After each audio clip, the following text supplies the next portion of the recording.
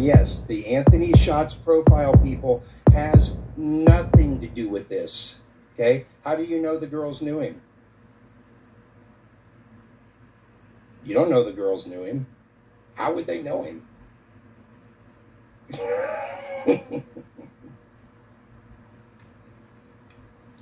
See, this is the thing, people. Yes, they were sexually manipulated with objects, yeah, from the cemetery, wooden crosses. It all makes sense. Okay?